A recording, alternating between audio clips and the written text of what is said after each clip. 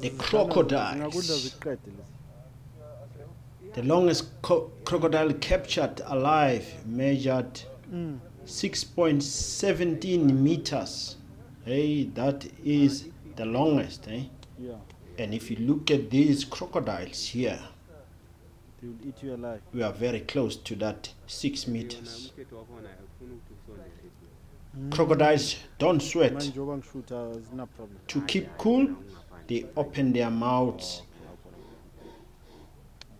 which is known as mouth gaping, very similar to panting.